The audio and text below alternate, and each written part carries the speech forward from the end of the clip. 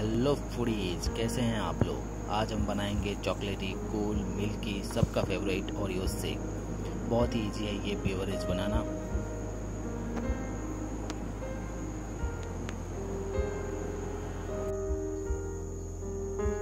Shake बनाने के लिए हमने लिया है Oreo biscuit one packet milk one glass ice cream two scoop chocolate syrup one spoon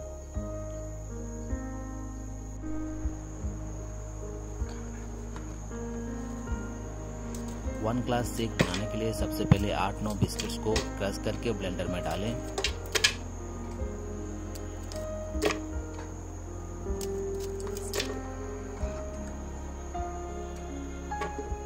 फिर ब्लेंडर में मिल्क ऐड करें।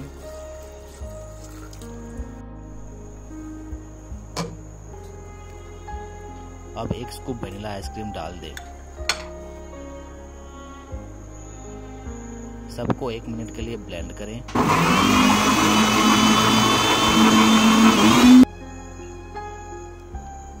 एक स्पून चॉकलेट सिरप ले और ग्लास में इस तरह से सजाएँ।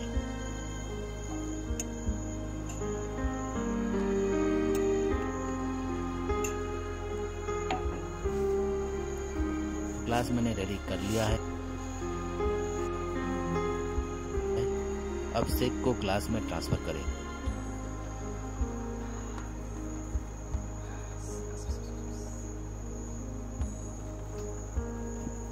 आप देख सकते हैं कितना यम्मी दिख रहा है। अब इसके ऊपर बचा हुआ एक स्कूप आइसक्रीम डाल दें।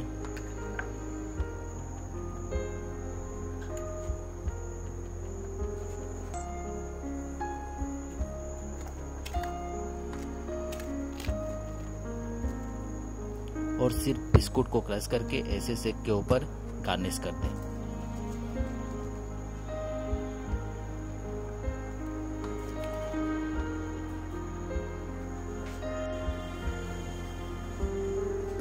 अब ओरियो मिल्क शेक सर्व करने के लिए रेडी है।